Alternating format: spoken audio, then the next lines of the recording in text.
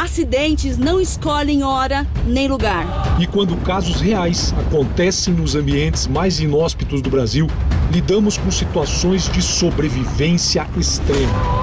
Vamos reviver os acidentes e tentar sobreviver com nossos conhecimentos aos perigos da natureza implacável. Esse é o Sobrevivência Extrema.